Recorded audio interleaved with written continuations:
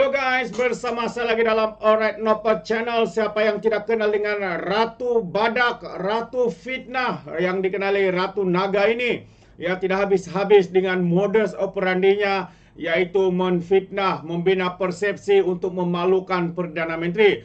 Kemarin tular di media sosial ya apabila Ratu Fitnah ini membuat satu posting yang berbau fitnah mengatakan Datuk Seri Anwar Ibrahim tidak dijemput dalam satu istiadat persandingan di Brunei. Ha, jadi ya, adakah beliau ini buta atau adakah beliau ini sengaja melakukan semua ini untuk membina persepsi dan juga memahu untuk memalukan Perdana Menteri kita, Datuk Seri Anwar Ibrahim, kononnya tidak dijemput. Ya, jadi hari ini sahabat semua saya ingin memberikan satu jawaban ya bagaimana benarkah uh, Datuk Seri Anwar Ibrahim tidak dijemput ya seperti mana yang didakwa oleh Ratu Fitnah ini.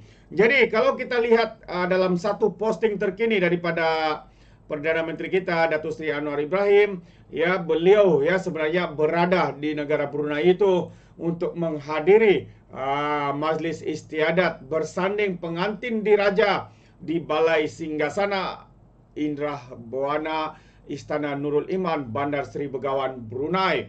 Jadi, adakah ini uh, seperti mana yang dinyatakan oleh Ratu Fitnah? Kononnya tidak dijemput, kononnya tidak berada di dalam uh, di Brunei. Sedangkan, ya apabila Datuk Seri membuat uh, posting seperti ini, jelas bahwa apa yang dibuat oleh Ratu Fitnah itu adalah sesuatu yang amat-amat biadab, yang uh, yang tidak bertanggung jawab, ya hanya mau menfitnah untuk memalukan diri sendiri saja.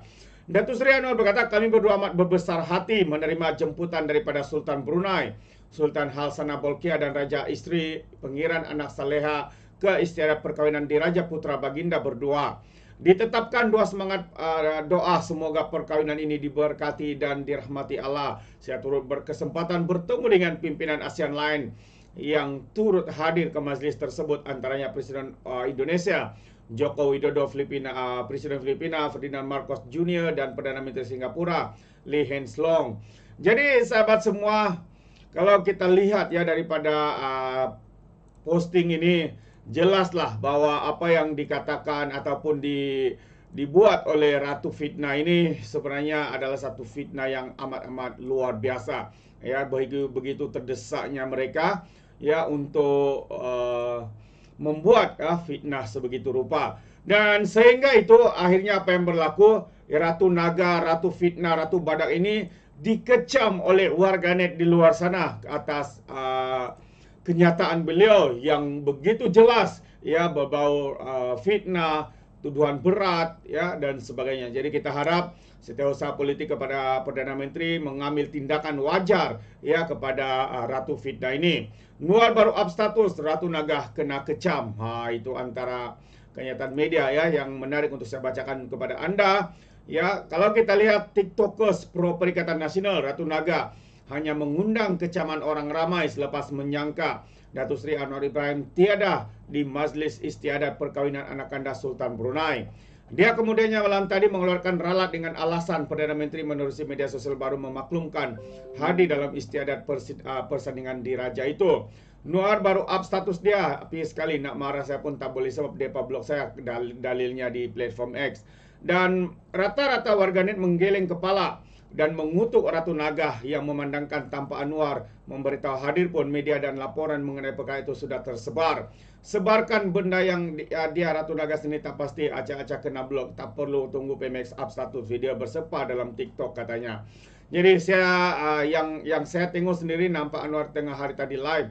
Pakai baju hitam songko hitam isteri pun berpakaian serba hitam.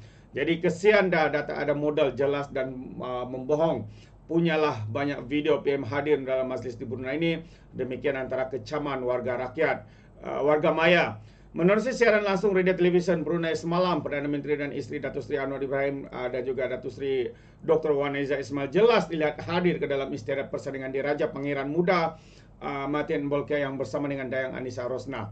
Jadi Anwar kemudiannya dalam catatan melalui Facebook turut menitipkan doa semoga perkawinan anak anda Sultan Brunei berkenan diberkati serta dirahmati Allah.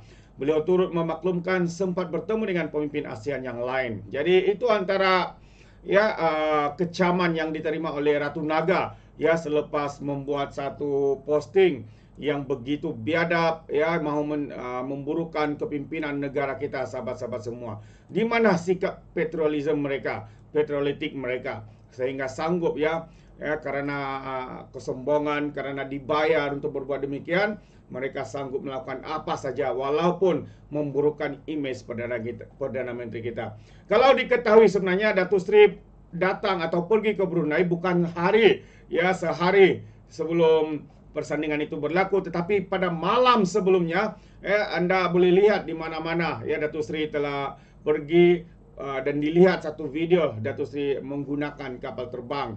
Ya naik ke kapal terbang untuk uh, apa ni pergi ke Brunei untuk jemputan itu. Jadi inilah sahabat semua yang kita boleh lihat bahwa pihak pembangkang cyber terupa pembangkang yang begitu terdesak dengan modus operandi mereka ialah fitnah dahulu. Lepas tu minta maaf. Kalau bukan minta maaf akan cari uh, dalil-dalil uh, lain untuk untuk mengiyakan fitnah-fitnah yang mereka lakukan.